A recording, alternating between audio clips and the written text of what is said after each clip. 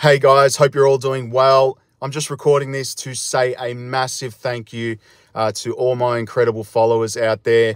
I'm seeing all your positive comments and congratulations. Um, yeah, so it's been an incredible couple of days uh, with the uh, birth of my beautiful girl.